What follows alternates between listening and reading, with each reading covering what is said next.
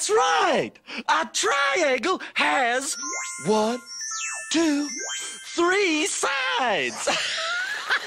that gives you one correct answer. You now have one, two, three, four, five more questions to go. I like how this game is shaping up.